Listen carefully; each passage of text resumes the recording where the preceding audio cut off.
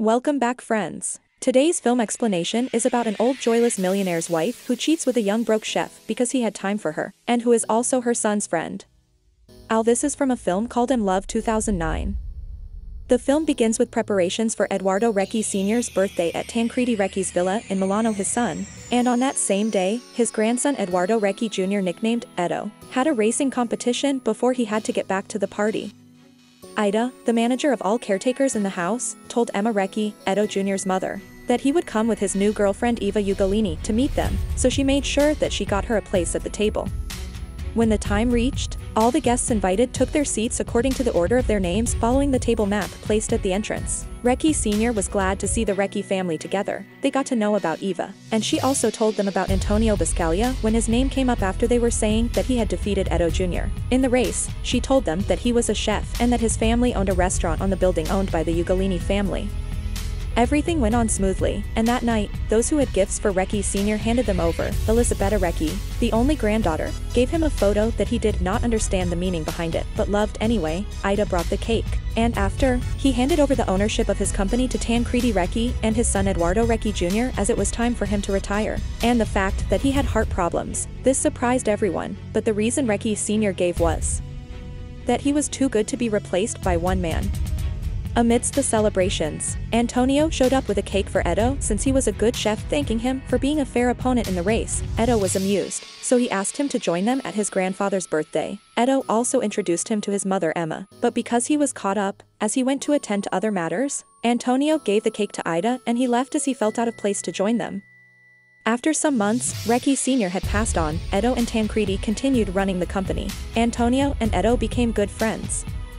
One morning, Emma went to pick up clothes from the laundry, and the attendant gave her a disc with a letter in it that was written by Elisabetta Recchi. Expressing how she felt towards her female teacher, she stated that although she was afraid to open up about her affair, she was glad Edo understood her and loved her the way she was which surprised Emma. Edo went and paid a visit to Antonio. He told him about his proposal party, but first Antonio wanted Edo to try his eggplant and sunflower dish, because he was some talent when it came to cooking. When Antonio told him his idea of building a restaurant on his father's land who won't let him and who was against his cooking ideas, because Edo's family was respected, he was like he will talk to Antonio's dad about allowing them to use half of the land and also handle the finances, then, they celebrated Edo's good news of proposing to Eva, and Antonio offered to cook for free as his gift to him. That day, Emma paid a visit to Allegra Rory Recchi, her mother-in-law. They talked about Tancredi Recchi's tour to London, and she also seemed to be worried about Elisabetta Recchi nicknamed Betta, because she was not communicating. But since Emma was aware of what she was going through, she backed her up with an excuse. Emma then told her about Edo's proposal party to Eva, and Rory gave her a gift that she was to give to Eva to carry on with the Recchi culture. When Emma arrived home that evening, Edo introduced her again to Antonio, his chef friend. She was amused with his dishes, and he gave her a demonstration of how he does it. They were all delighted with the results.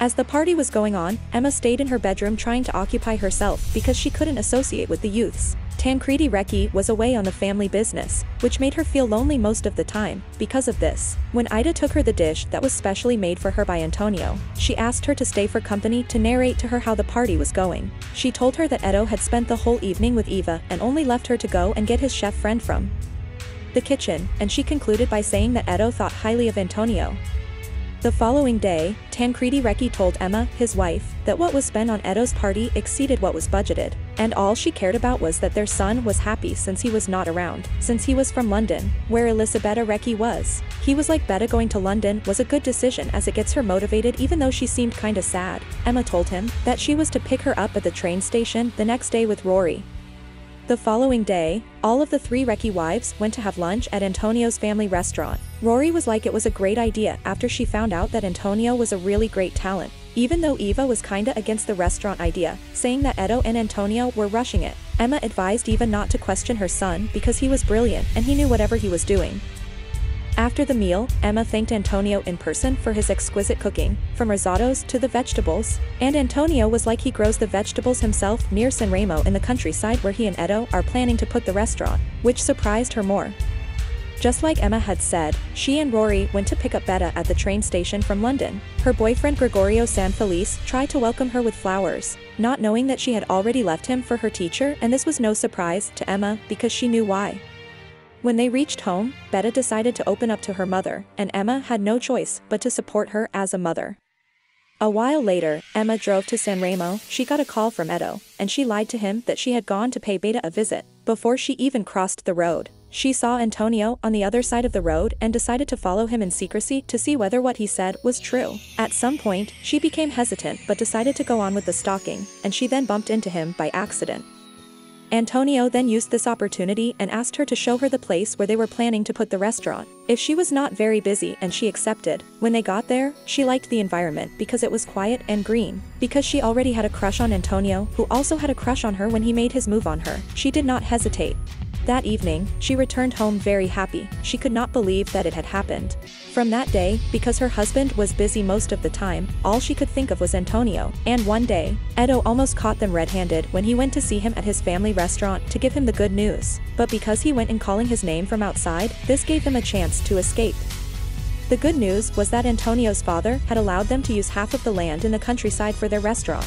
Edo asked him why he seemed unhappy. Not knowing that it was the guilt he felt, he came across a magazine that belonged to Emma, Antonio got it from his hands. He told him that he was going to go through the papers and thanked him. Before he left, he told him that they had an important business dinner, and his mother was to call him for more details not knowing that he was with her just before he got in. Now that it had become a habit, one day, when Emma went to meet Antonio, he handed over her magazine that she had left in his truck, which was a mistake because Edo had already seen it. She used the chance to tell him how her husband met her in Russia to their marriage in Milan, and that she had never been to Russia again ever since. She even told him that one day, she happened to make a soup that her grandmother had thought her called Luca, and surprisingly, when Edo tested it, it became his favorite from then. Emma taught Antonio to how to make it. She told her that her real name was Kaich, that Emma was given to her by Tancredi, and as they kept on enjoying their moments, Antonio cut her hair short. From there, she returned home with the magazine that Edo had already seen with Antonio. The following day, Antonio showed up at Edo's home as the main chef for the business dinner that was going to be hosted. And the mistake he made was he added ukha to the food menu. This is when Edo started adding up everything and realized that his mother was cheating on his father with his friend. The two went outside, they ran into an argument, and in the process, Edo slid and hit his head on the edges of the swimming pool. And he died on spot just like that. After his burial, Emma opened up to Tancredi that she was in love with Antonio, she parked her things and left, but before, she gave Betta a sign to follow her heart.